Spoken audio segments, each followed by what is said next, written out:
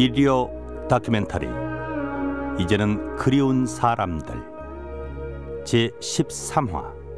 상록수의 후예 야학교사 마대복. 기획 이기진. 극본 이상락. 연출 이영노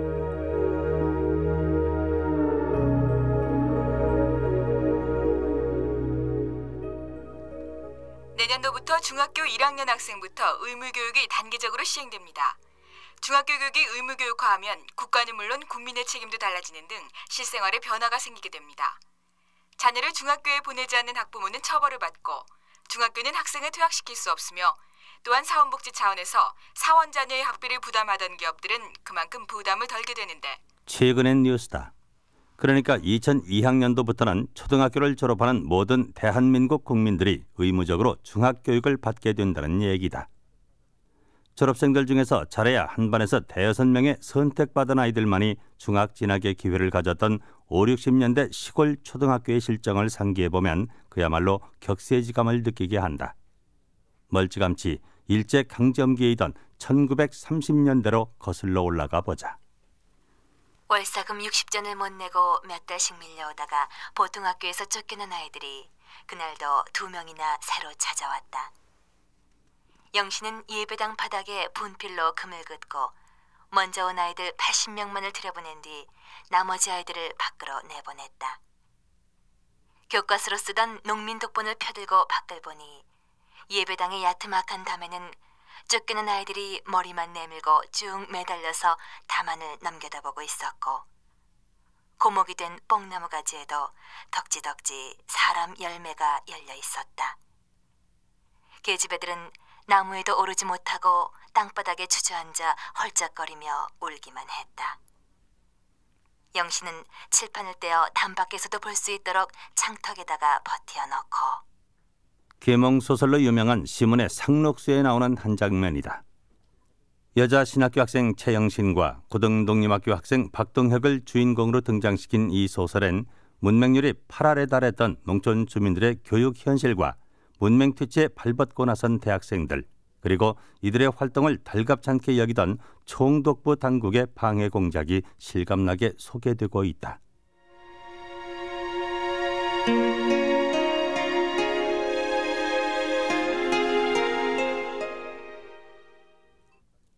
(2000년 6월 29일) 서울의 대학로 근방에 위치한 한 커피숍 앞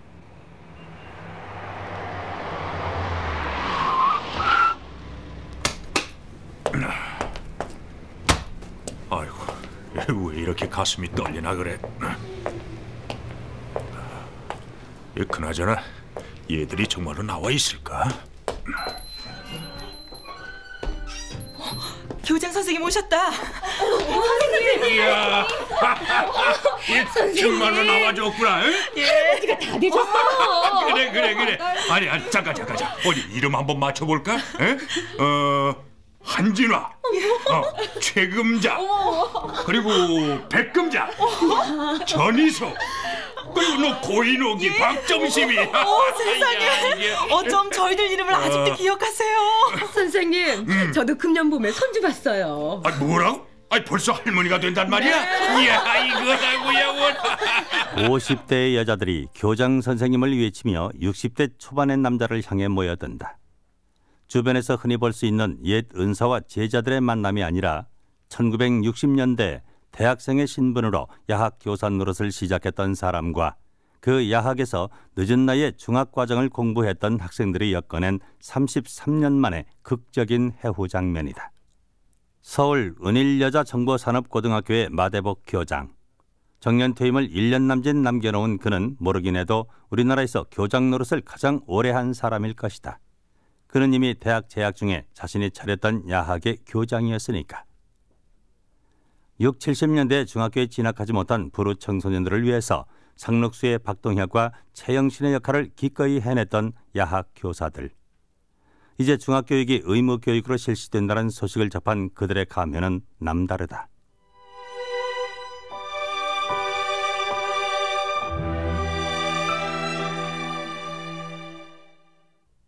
1958년 서울 한영고등학교 야간부 2학년 교실 야, 너 오늘 아이스 깨끼 많이 팔았으면 광고 후에 나 풀빵 좀 사주라. 많이 판 거 좋아하시네. 야, 깨끼통 메고 가다 넘어지는 바람에 아이스 깨끼를 20개나 버렸다니까. 에이, 재수없는 날이야 진짜. 야, 너야말로 구두 많이 닦았으면 이따가 호떡 좀 사주라. 아이씨, 점심도 쫄쫄 굶은 사람한테 누구 약 올리냐? 왜? 오늘 구두 닦기 안 했어? 아 글쎄, 구두통 메고 한일극장 앞쪽으로 지나가기만 했는데 아, 자기네들 구역 침범했다고. 씨. 아휴, 씨, 아직도 아파 죽겠네. 그쪽 형들한테 직사게 얻어터지고 구두통도 뺏겨버렸어. 당시에는 서울 시내 대부분의 고등학교에 야간부가 있어서 가정 형편이 어려운 청소년들의 배움터 구실을 했는데 문제는 이 야간 학생들이 학비벌이를 할 변변한 일터를 찾기가 어려웠다는 점이다. 마대복 교장의 얘기를 들어보자. 그때 당시는 공장 직공으로 들어간다는 것도 쉽지가 않아요.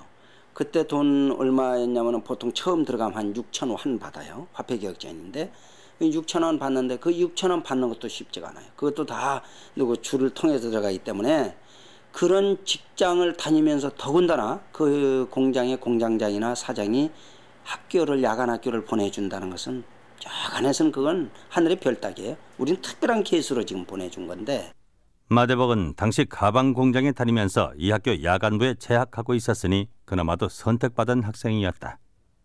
물론 몇 푼 안 드는 공장 월급으로는 호러머니와 동생 등 세 식구의 생계 유지가 어려웠기 때문에 그 역시 틈나는 대로 구두통을 메고 거리로 나서야 했다. 야야야, 국어 선생 오신다.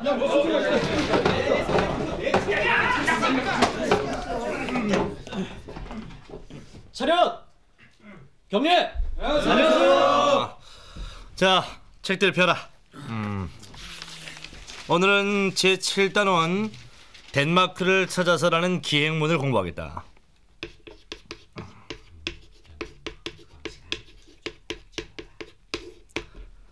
아, 이 기행문을 통해서 우리는 덴마크 국민들이 얼마나 잘 살고 있는지 아, 아 전개 또 왜 이래? 아이, 선생님, 또 전기 나갈 것 같은데요? 야야야, 세까지 세면 전기 나간다. 하나, 둘, 셋. 제대로 좀 해. 전력 사정이 열악하던 때라 야간부 수업 중에 정전이 되는 것은 예사로운 일이었다. 가자. 아, 정전이 돼서 잘생긴 선생님 얼굴이 안 보이는 건 유감이겠지만. 선생 님, 저 이왕 덴마크 얘기가 나온 김에 선생님이 가장 존경하는 덴마크 사람 두 사람을 소개할 테니까 잘 들어봐. 1800년대 초에 활동했던 그룬투비라는 사람이 있었어요. 이 사람은 덴마크의 유명한 시인이자 신학자였고 철학자이자 더불어서 교육 이론가였어. 특히 그룬투비는 평생 교육을 주창하는 것으로 유명한데 이 사람은 모든 계층의 청년들이 서로에게 가르치고 배우는 선생이자 학생이 되어야 한다는 운동을 전개했어. 선생님, 음. 졸린 사람은 자도 돼요? 그래 그래. 자, 낮에 일하느라고 고단한 사람들은 엎드려 자도 좋은데 귀는 열어놓고 자라. 어? 자, 근데 당시 그룬투비의 강의를 듣고 있던 사람 중에 크리스텐 콜이라는 19살짜리 청년이 있었어요.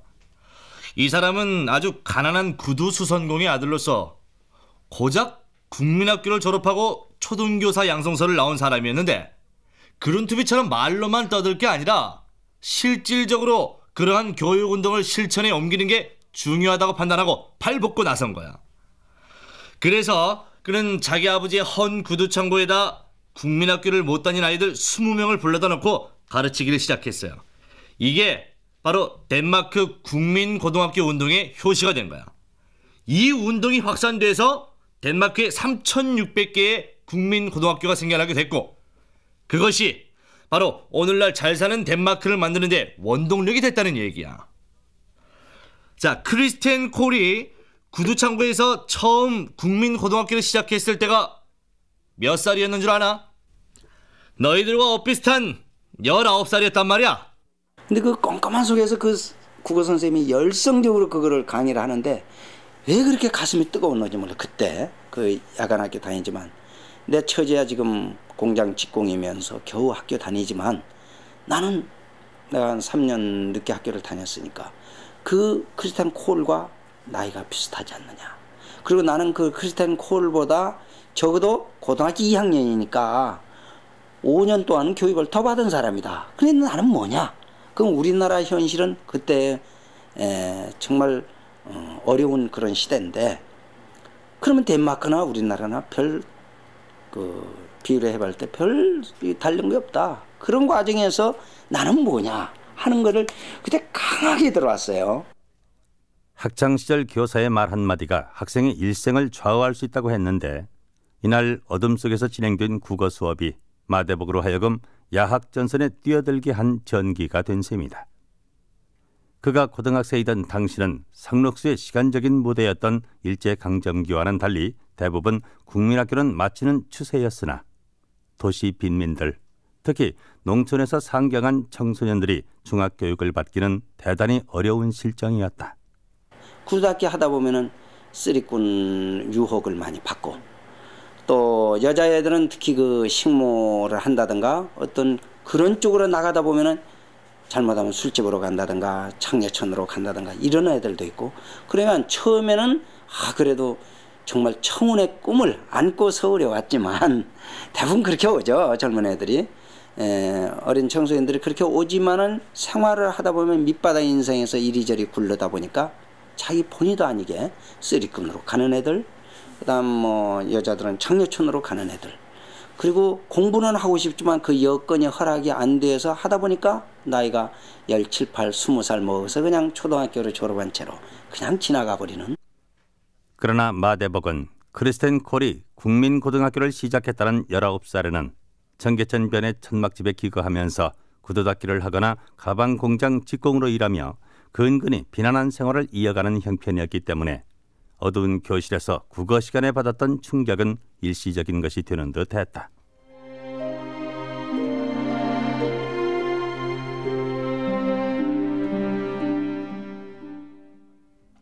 (1963년) 경희대학교 국문과 3학년 강의실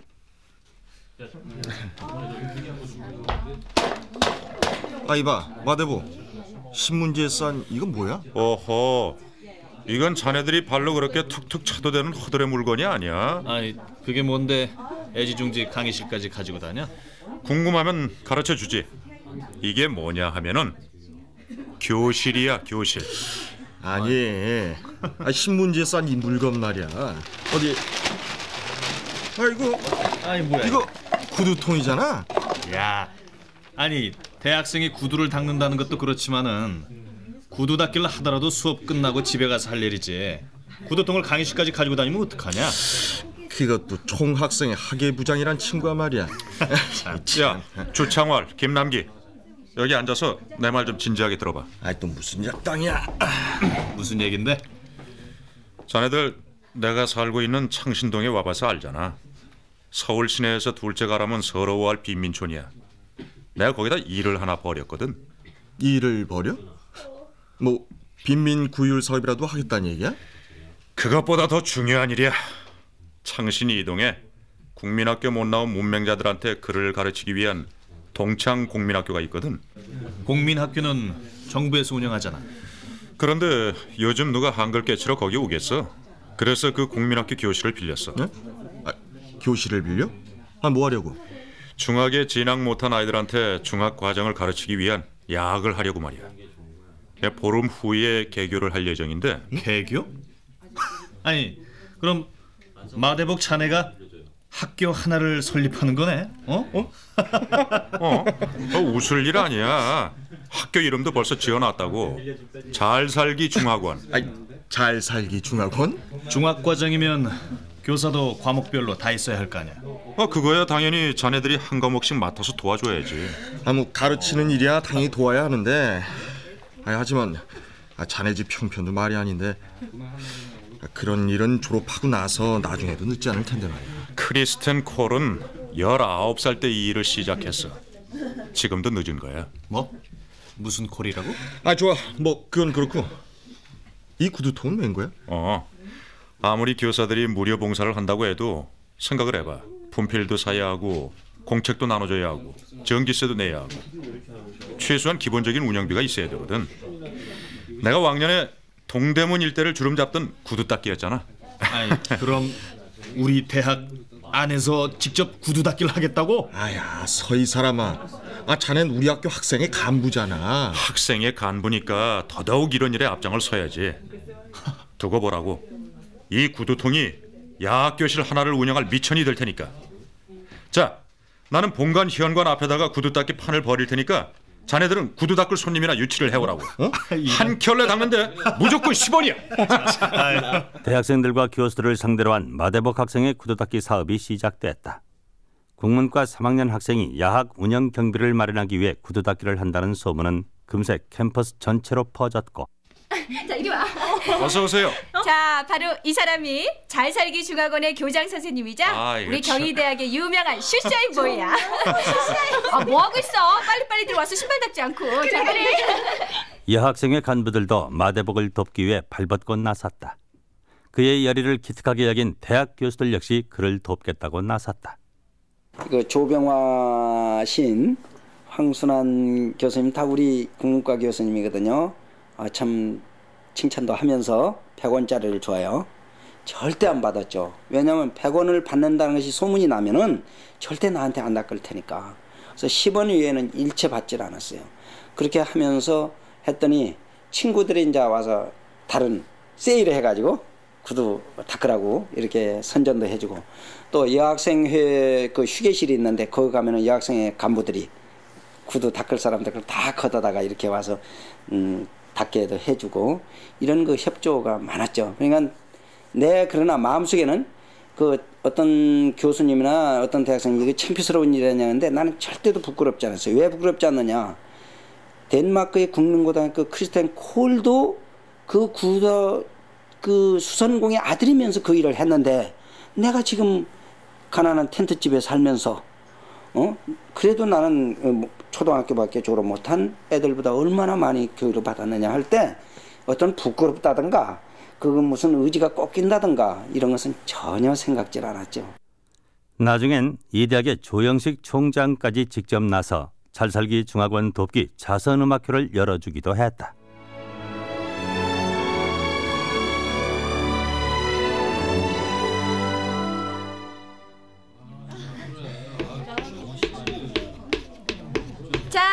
여기 잘 보세요.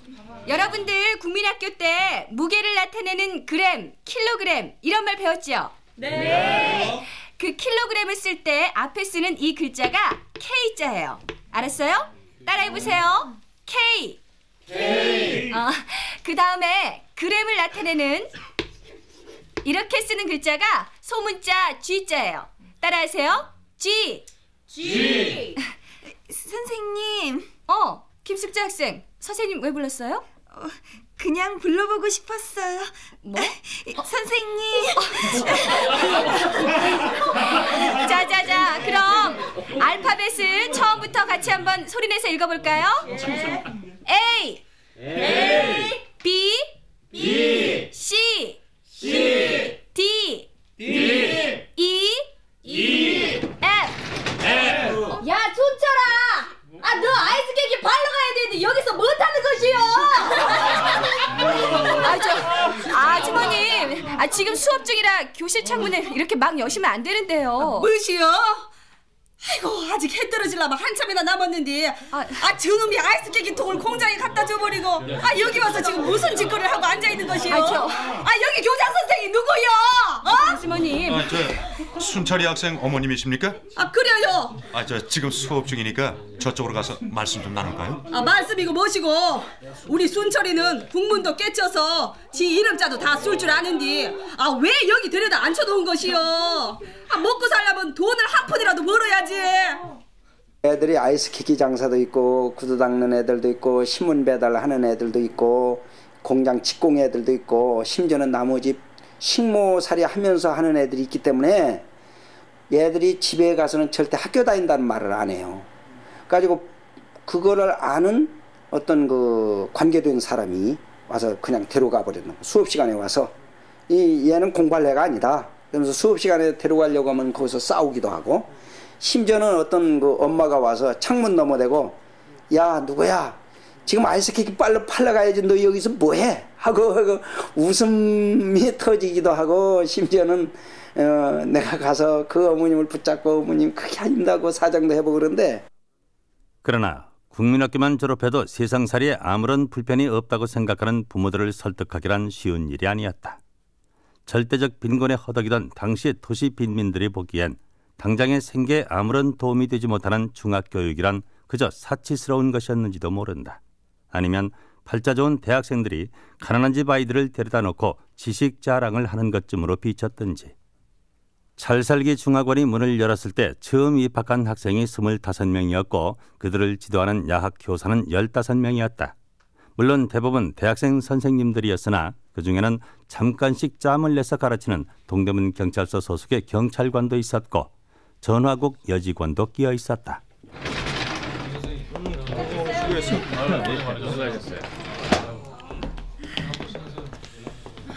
자, 오늘 저 수업을 마쳤는데 학생 지도 현장에서 느꼈던 점이나 야학 운영에 관한 의견들이 있으면은 자유롭게 토론을 좀 해봅시다. 학생들의 열의는 참 대단해요. 오늘 영어 수업을 하는데 어떤 여자아이가 수업 중에 괜히 선생님하고 부르길래 왜 불렀냐고 물었더니 그냥 불러보고 싶었대요. 그 국민학교 졸업 후에 선생님 소리를 다신 해볼 기회가 없을 줄 알았는데 그 중학 과정을 배우게 됐다는 사실이 아마 감격스러웠을 겁니다. 그런가 봐요, 네. 정말. 오늘 국어 시간에 일기 검사를 했는데요.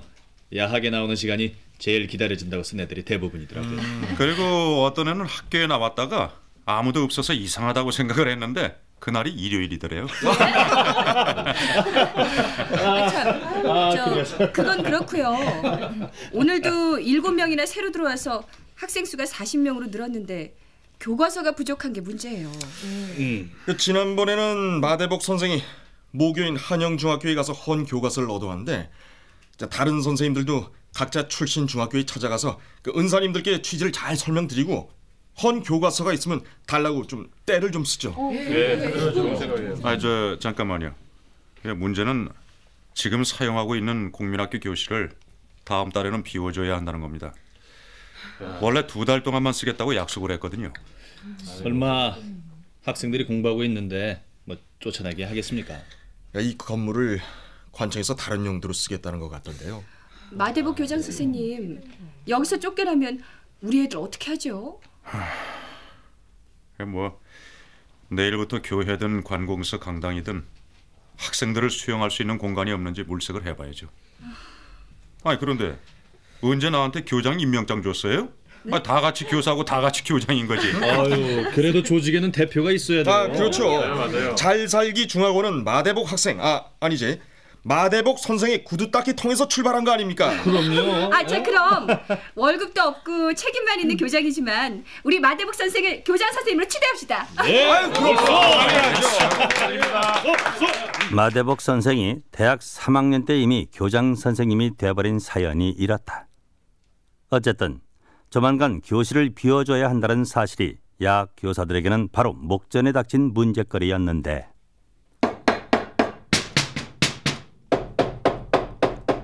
그해 10월 중순경 살살기 중학원 측이 제발로 나갈 낌새를 보이지 않자 당국에서는 결국 그들이 사용하고 있던 교실에 못질을 하고 말았다.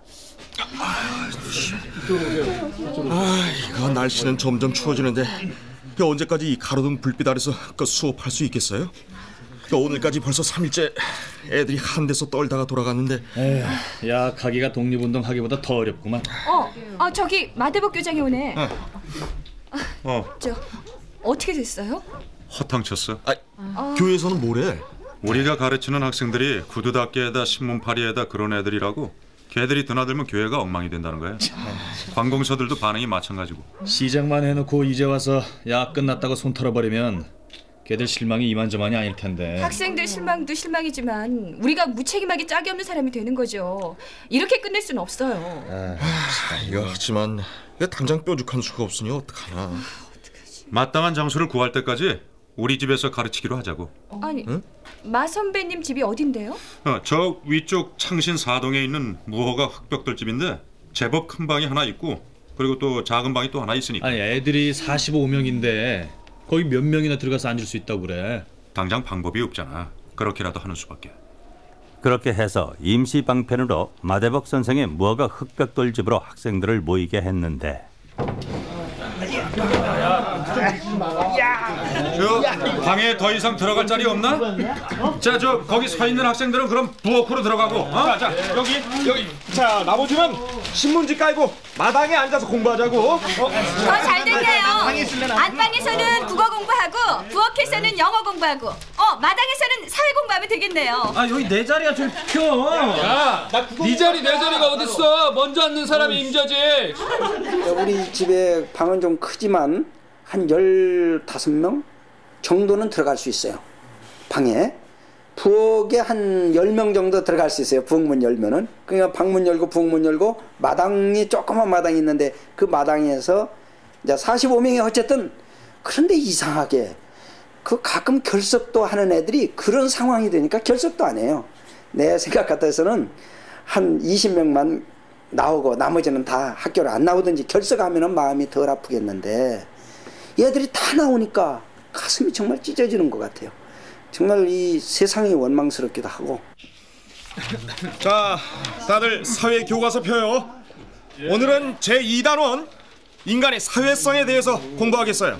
선생님, 책에 보면요. 인간이 사회적 동물이라고 했는데 인간이 왜 동물이에요? 화장실 간새 남의 자리 빼서 앉은 너 같은 사람도 하는 말이야. 자, 잘들 들어요. 인간은 동물이긴 한데 그냥 동물이 아니라 사회적 동물이라 했단 말이에요. 인간은 날 때부터 다른 사람들과 더불어 살고자 하는 성품을 지니고 태어나는데 그게 바로 인간의 사회성이에요. 그러니까 여러분들이 공부를 하겠다는 목적 때문에 여기 창신동 꼭대기까지 몰려왔는데 그게 바로 여러분이 사회적 동물이란 증거죠. 자, 다들 알겠어요? 네. 그래요. 그렇다면 개미나 벌이 무리를 이루고 사는 군집 생활과 인간의 사회 생활이 어떻게 다르냐 그걸 한번 따져봅시다.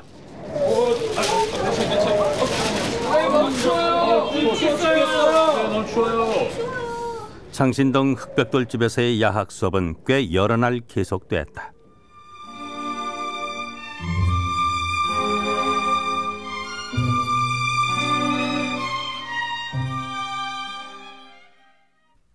어려운 처지의 청소년들이 대학생 선생님의 흑벽돌 집에서 수업을 한다는 소문은 인근 지역사회에서도 화제가 됐고 그렇게 되자 창신동의 통장이 동사무소 2층 회의실을 교실로 빌려주겠다고 나섰다.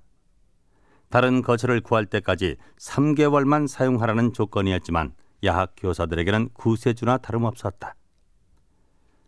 여기서 잠깐 용어 정리를 하고 넘어갈 필요가 있는데 야학과 야간 학교는 그 성격이 다르다는 것이다. 당시엔 가정 형편상 정규 중학교에 진학하지 못한 학생들을 가르치던 교육기관으로 고등국민학교가 있었고 정규 고등학교의 미진학자들을 수용해서 가르치던 교육기관으로는 전수학교가 있었다. 마대복 교장의 얘기를 들어보자. 그때는 고등국민학교하고 전수학교가 상당히 에, 뭐라 그럴까 활발하게 움직였을 때 학교가. 근데 고등국민학교는 중학교 과정이고 전수학교는 고등학교 과정이에요. 근데 거기는 다 수업료를 받았어요. 물론 일반 학교보다는 수업료를 조금 적게 받지만 수업료를 받았어요. 그 수업료마저도 내지 못하는 학생들이 청소년들이 모이는 곳이 바로 아무 인가도 없는 정말 인가도 없는 무료 교육을 받기 위해서 온 거예요 에, 그게 이제 바로 그러니까 말하는 고등 국민학교나 전수학교는 일정에게 수업료도 받고 문교부의 지시와 감독을 받는 제도권 내에 인가된 학교였던 반면 대학생들이 운영하던 야학은 그곳에마저 갈 수 없었던 청소년들을 가르치던 무인가 학교였다는 얘기다. 그러니까 일제 강점기에 상록수의 주인공들이 펼쳤던 문맹 퇴치 활동의 계몽 정신을 이어받은 곳이 바로 찰살기 중학원 같은 야학들이었다고 보면 될 것이다. 야학은 단순히 밤에 공부한다는 의미가 아니라 18세기 덴마크의 크리스텐 콜이 실천했던 것과 같은 교육 계몽 운동의 일환이었던 셈이다. 그건 그렇고 야 우리 학교 선수들이 이겨야 될 텐데. 아, 뭐 다 같은 저주 학생들인데 어느 학교가 이기면 어때요? 어머, 주창환 선생님은 언제부터 그렇게 박애주의자가 되셨어요? 예? 우리 잘 살기 중학원이 무조건 이겨야 된다고요. 1964년 봄 일요일을 맞아 서울 장충단 공원은 서울 시내 각 야학에서 몰려온 학생들과 교사들로 북적거렸다. 학교대항 축구 시합이 예정돼 있었던 것이다. 창신동의 잘살기 중학원이 경희대 학생들이 주축이 된 야학이라면 역시 서울의 대표적인 빈민촌이었던 금호동에는 고려대 학생들이 꾸려가던 참삼 배움의 집이 있었고 미아리의 해명 선도학원 등 서울에만도 꽤 여러 곳에 야학이 있었는데 그들이 장충단 공원에 모두 모여 친선 축구 시합을 갖기로 한 것이다. 아 그런데 마대복 교장은 어딜 갔나? 글쎄, 어, 어 저기 오시네요. 아 이거 참 이걸 어떻게 하나? 왜? 아, 왜 그런데? 왜 그래? 아, 우리 학교 축구 대표 선수들 말이야. 30분씩 전후반 60분을 뛰자면은 이거 아주 힘들 텐데. 쟤들 밥이라도 먹였으면 좋겠는데 돈이 있어야 말이지. 정말 말만 선생이지 주머니들은 텅텅 비어가지고 이거 영 체면이 안 서네요. 저, 저 실례하겠습니다. 어, 예. 마 대복 선생님이 어느 분이신가요? 아 예, 접니다만 누구십니까? 아이고, 아이 저는 제 춘삼이 애비 되는 사람입니다. 아, 송춘삼이요? 아, 예, 예, 아, 예. 반갑습니다. 아이고, 예, 안녕하세요. 예, 춘삼이가 오늘 우리 학교 응원단장입니다. 아유, 이 선생님들이 열심히 가르쳐 주시는데 자식만 맡겨놓고 인사도 한번 못 드려서 죄송합니다. 아이 뭐려. 아이 그래서 마 선생님께 모처럼 점심 대접을 했으면 하고 찾아왔습니다만. 아이 별 말씀을 다 하십니다. 아이 전 괜찮습니다. 아유 아유 저희 아직 그 식사 전이지 않습니까? 저 그러지 마시고요. 아이, 저, 제가 저, 전 그러시면요 염치 불구하고 드리는 말씀인데 예.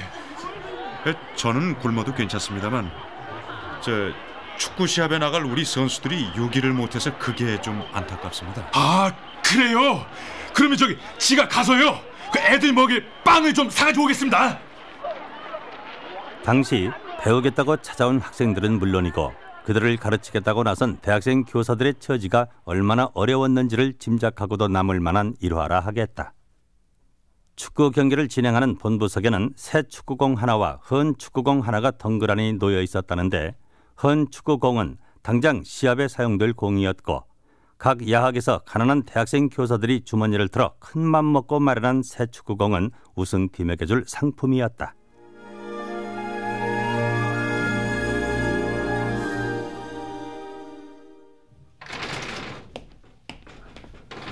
어, 실례하겠습니다. 여기 마대복 선생님을 만나러 왔는데요. 아 예. 아 제가 마대복입니다만.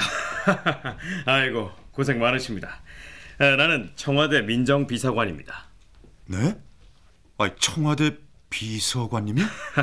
예. 에, 다름이 아니고 젊은 대학생들이 좋은 일을 한다는데 부르 청소년들을 가르칠 만한 마땅한 장소가 없어서 동사무소 2층에 임시로 들어있다는 신문 기사를 보시고 에, 각하께서 도와줄 일이 없는지 알아보라고 하셔서 나왔습니다. 글쎄요. 저- 저희들이야 뭐 아이들을 마음 놓고 가르칠 교실이 필요하긴 합니다만. 야학 잘살기 중학원의 일대 전기가 마련되는 순간이었다. 대통령 박정희의 지시로 서울 시유지였던 이화동 꼭대기 쓰레기 하지장터 일부가 잘살기 중학원의 교사를 지을 터로 임대됐고 굴지의 슬레이트 회사 사장이 교사 신축에 필요한 슬레이트를 제공하겠다고 나섰다. 물론 야학 건물은 대학생 교사들이 수업이 끝난 밤 시간에 직접 지을 수밖에 없었다. 아 여기 저 블록 가져와. 콘크리트 비비는 사람 뭐 하고 있어? 아 잠깐만! 너 지금 만들고 있는 데가 교무실인데 그거 봐 저 벽이 삐뚤어졌어. 거기 브로커 다시 쌓야겠어. 야 이거 바닥 수평을 잘못 잡은 모양인데 이거 자꾸 벽이 휜단 말이야. 아 이럴 줄 알았으면 이거 건축가 학생 한 명을 야학 선생으로 데려오는 건데 이거 시멘트 운반 담당. 아 뭐해? 아 물이 와야 반죽을 하지. 물찌개 지고 간 선생도 이거 도망친 거 아니야? 자자 저 차는 없지만 저녁밥들. 먹고 하세요. 쓰레기장이었거든요. 쓰레기장에다가 그걸 세우게 되니까 정말 밤에 학생들이 끝난 다음에 작업을 해야죠. 그냥 참 학생들도 일을 많이 하고 그때 대학생 선생님들 대학생 선생님들도 일을 많이 하고 참 일을 많이 해줬어요. 그때 그 일하면은 먹어야 우선 밥은 먹어야 하니까 그때 에, 저녁밥은 주었거든요. 예, 저녁밥하고 고추장 하나 주면은 아무리 부잣집 대학생이라도 그렇게 달게 먹더라고요. 그래서 그 선생님들 중에도 본인들 스스로가 정신 개혁이 스스로 여기 학교에 와서 나는 정신 개혁을 받았다. 그런 선생님들도 많이 있어요. 비록 야학 교사들이 얼기설기 만든 것이었지만 교실이 너댓 개씩이나 생기고 교무실까지 따로 갖추었으니 모름지기 떠돌이 동양교육 신세를 말끔히 면할 수 있었던 것이다. 그러나 불우 청소년들을 넉넉히 수용할 공간이 생겼다고 해서 그것이 야학 교사들에게 마냥 축복스러운 일일 수만은 없었다. 마대복 자신이야 이미 고등학교 때부터 교육 계몽 운동에 몸바치기로 뜻을 세웠으니 그럴 수밖에 없었다 하더라도 나머지 대학생 교사들은 졸업 후에 자신들의 진로를 찾아 나서야 하는데 이제 쫓겨날 걱정 없는 교육의 터전이 생겼으니 찾아오는 학생들을 외면하고 제살 길을 찾자고 쉽게 발을 뺄 명분이 없었던 것이다. 프로 청소년들을 가르치는 교실은 보람의 장이기도 했지만 다른 한편으로 젊은 교사들에게는 쉽게 빠져나오기 힘든 족쇄이기도 했다.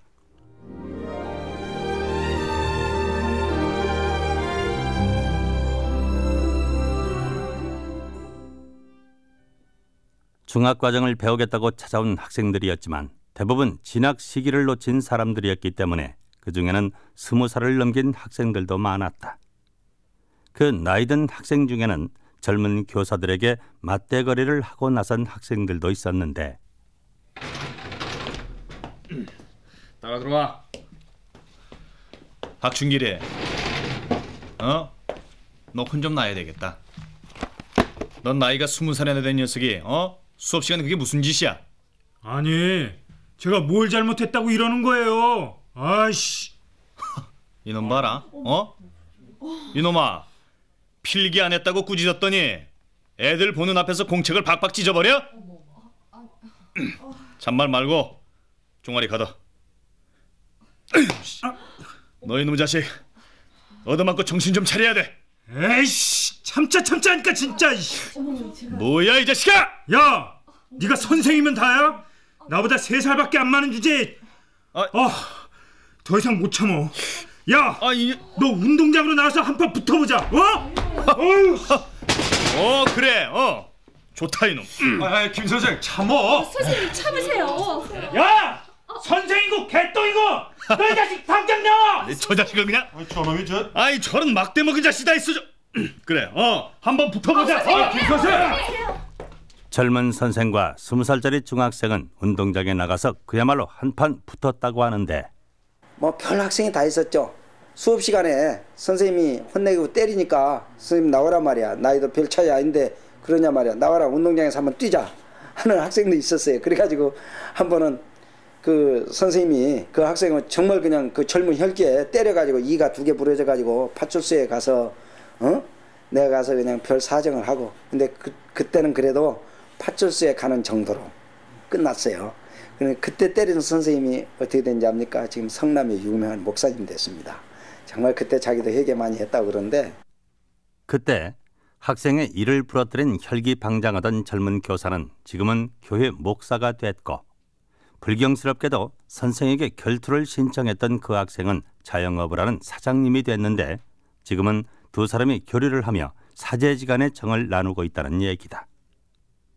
아무튼 엇비슷한 연배의 학생들을 가르쳐야 했던 당시 야학 교사들의 애환이 어느 정도였는지 짐작할 만하다. 또 이런 학생도 있었다. 이 강풍길이는 그야말로 그때 당시에도 아주 깡패 노릇하는데 중학교 2학년인데 벌써 덩치는 한 20살 먹었으니까 덩치는 다 컸고 힘이 아주 세단 말이에요. 근데 얘가 고탁하면은 그 반 애들을 두드려 패든가 선생님한테 반항하든가 그러면 내가 그 붙잡으면은 학교에서도 어느 선생님도 얘기를 말을 안 듣는데 내 말은 듣는단 말이죠. 그런데 그 어머니가 한번 찾아와서 저놈 좀 사람 만들어 달라고. 근데 그 어머니가 그 아파트에서 뭘 했냐면 연탄 장사를 했어요. 아버지도 안 계시고 근데. 근데 얘가 하루 종일 자고는 저녁에 이제 학교 오는 거예요. 그러면 전혀 집에 도와주지는 않고 나머지 애들하고 싸워가지고 그 치닥거리만 어머니가 다 해야 한다 이거야. 연탄 팔아가지고. 그럼 누구 때렸으니까 병원비 내라. 또 누지 뭐 물건을 부셨으니까 뭐 해라. 걔는 그 중학교 2학년이면 술, 담배 다 했으니까. 그래가지고 나하고 하루 저녁은 꼭 껴안고 자면서 약속을 받았어. 근데 절대 그러지 않는다고 했어요. 제발 사람 좀 만들어 달라는 어머니의 부탁을 받고 마대복 교장은 그 문제 학생을 부둥켜 안고 함께 밤을 새우면서 절대로 주먹을 휘두르지 않겠다는 약속을 받아냈다고 하는데 그리고 나서 며칠 후 선생님! 선생님! 아니 이 밤중에 누구야? 아니 누구요? 깡풍길입니다. 아니 풍길아. 아니 너 얼굴 왜 그래? 어? 얼굴이 피투성이잖아. 아 웬일이야? 이거 어떻게 된 거야? 선생님 때문에 이렇게 됐습니다. 선생님 때문에 얼굴에 칼 맞았다고요. 아니 나 때문에 칼을 맞았다니. 아 그래 저 얘기는 나중에 듣고 치료부터 해야겠다. 어? 가만 있어. 가만 있자. 이거 어떡하지? 어 이럴 게 아니라 병원으로 가자. 어? 자내 등에 업혀. 자 빨리.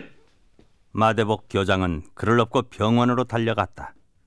자신의 시계를 전당포에 맡기고 간신히 치료비를 지불한 다음 그에게 자초지종을 물어보았다. 그래. 나 때문에 칼을 맞았다고 했는데 그게 무슨 소리냐? 선생님께서 절대로 폭력을 쓰는 사람하고는 상대하지 말라고 하셨잖아요. 그래서 제가 약속을 했지 않습니까? 그랬지. 전에 뒷골목에서 같이 놀던 애들 만났는데 요즘 왜 자기들하고 어울리지 않냐고 그래서 그래서 다시는 어울리지 않겠다고 이 얘기를 했구나. 예, 야 교장 선생님하고 약속했다고요. 그랬더니 그놈들이 한꺼번에 달려들어. 그랬는데도 그놈들의 협박에 넘어가지 않았다 이거지? 됐다 이놈아. 됐어. 넌 내가 가르친 애들 중에서 가장 훌륭한 제자야. 고맙다 풍이라. 지금은 쉰 살이 넘은 강풍길 학생은 요즘도 설날이면 거르는 법 없이 마대복 교장에게 세배를 온다고 하는데 그의 얼굴에 베인 칼자국 흉터를 볼 때마다 가슴이 아프다고 마 교장은 말한다.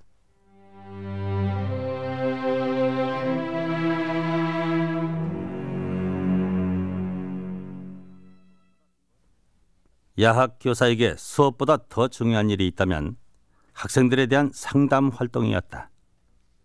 가난으로 인한 가정 문제야 어느 학생이나 지니고 있는 공통적인 고민거리였고 학생들 대부분이 부모를 떠나 생활하고 있거나 결손 가정 출신인 관계로 교사의 말 한마디는 그들에게 큰 위로가 되기도 하고 혹은 상처가 되기도 했다.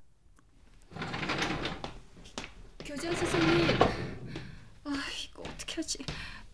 큰일 났어요. 아니 최 선생님 왜 그래요? 우리 반 양종남이라는 애 있잖아요. 아, 그 14살짜리인가 하는 어린애? 왜요?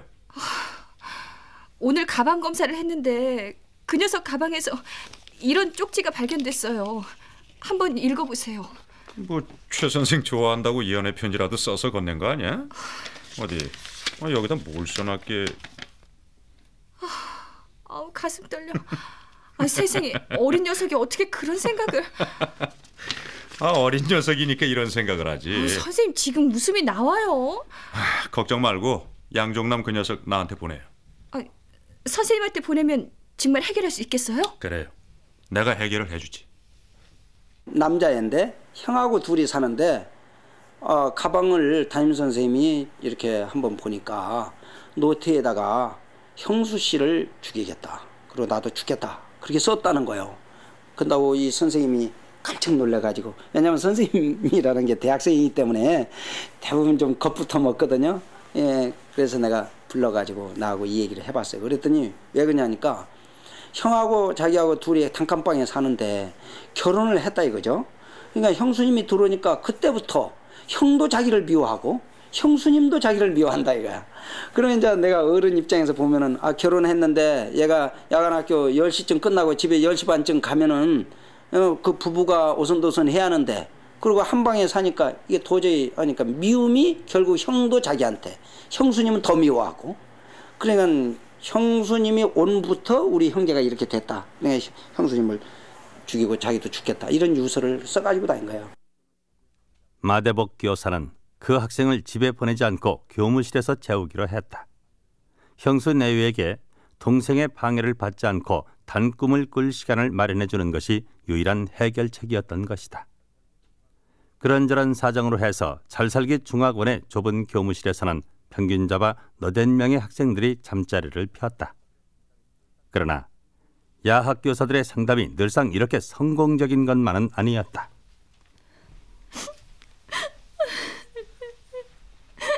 선생님, 전 죽어야 해요.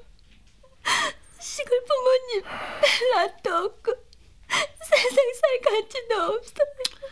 자자자 울지 말고 어? 아니 무슨 일인지 차근차근 얘기를 해봐 제가 어. 아이고 뭐라고? 아니 그게 무슨 얘기야? 식모살인을 하는데요. 주민 집 아들이 전 죽어야 돼요. 6, 70년대 무작정 상경해서 식모살이를 했던 농촌 소녀들이 흔히 빠지는 함정이었다. 상담력이었던 마대복 교사는 해결책을 마련해 보자며 그녀를 일단 돌려보냈는데 그 여학생이 어린애를 낳고는 덜컥 자살을 해버린 것이다. 그 집그 아들이 그 식모살이하는 애를 건드렸단 말이죠. 그래서 임신을 했어요. 그래서 얘가 아, 비관을 하는 걸 내가 여러 번 상담을 했는데 결국 그 어린애를 낳고는 예, 자살을 해버렸어요.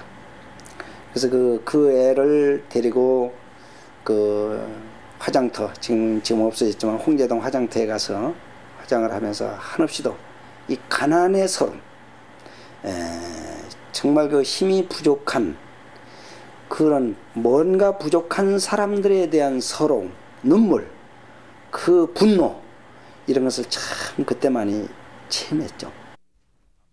당시의 야학 교사들이 앞서 배운 지식을 불우한 청소년들과 함께 나누었던 일은 어찌 보면 작은 일이었다. 하지만 그보다는 사회의 음지에서 저마다 크고 작은 상처를 안고 있던 청소년들과 함께 함으로써 그들에게 위안이 돼 주었다는 사실을 더 높게 평가해야 하지 않을까. 물론 대학생 자신들에게도 세상 보는 시야를 넓힐 기회가 됐으니 결국 야학의 젊은 선생들과 학생들은 서로에게 배우고 또 가르쳤던 셈이다. 그것이 야학 정신이었다.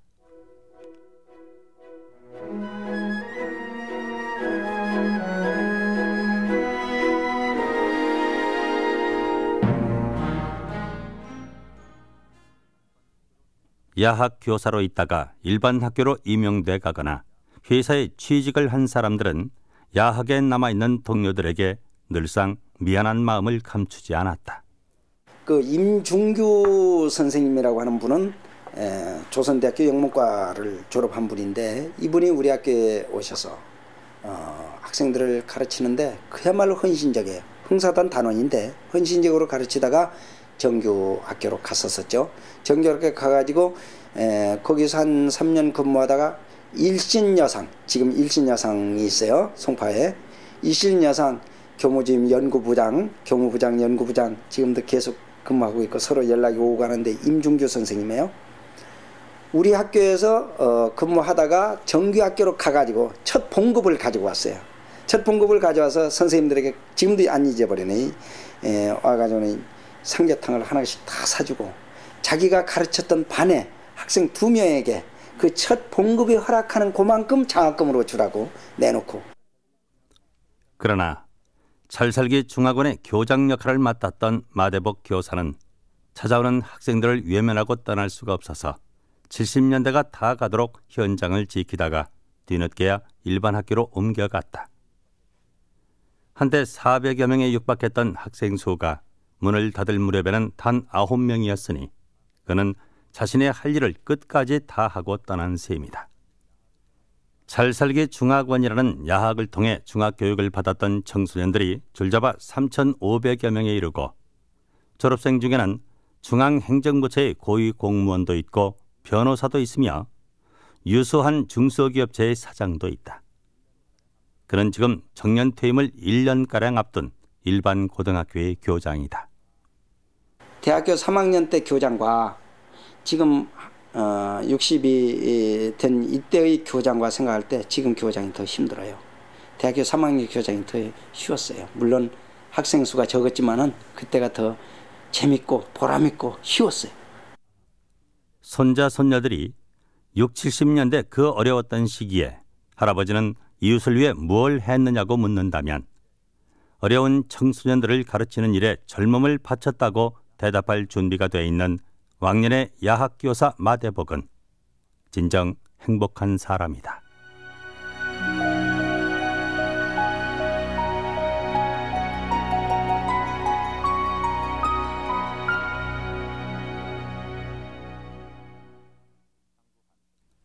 출연 강구한, 변영희, 안용욱, 양석정, 윤세웅, 이규석, 신선형, 소연, 김지혜, 고재균, 김래환, 변현우, 임채헌, 최정호, 위훈, 이주연, 김명주, 윤현정, 김유연, 김정아, 해설 송두석, 그리고 음악 조병성, 효과 강성범, 신연파, 신철승, 기술 구본숭.